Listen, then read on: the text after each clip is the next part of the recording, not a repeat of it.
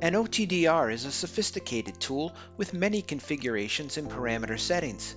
While the right type of OTDR can troubleshoot PON networks, proper use of an OTDR requires sophisticated training and experience. OTDR training may not always be available or desired for many technicians.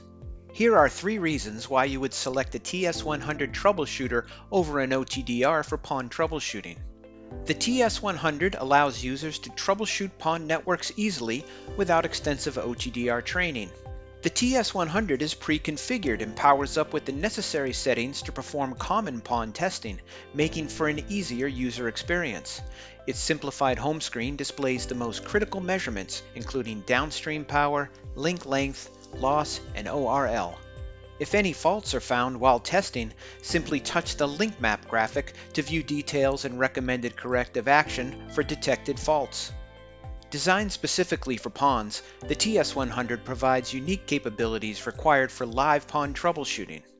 It includes a dual wavelength PON power meter specifically designed for measuring downstream power levels on each wavelength, and provides instant GPON or XGS PON measurements with pass-fail analysis.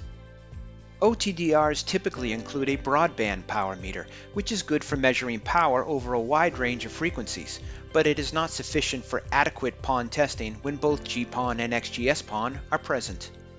The TS100 is the fastest tool for troubleshooting PON networks.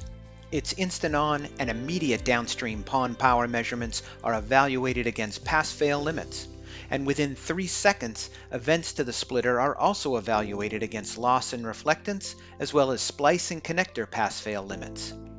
Combined with pre-configured test setups, the TS100 becomes the easiest and fastest way to troubleshoot PON networks.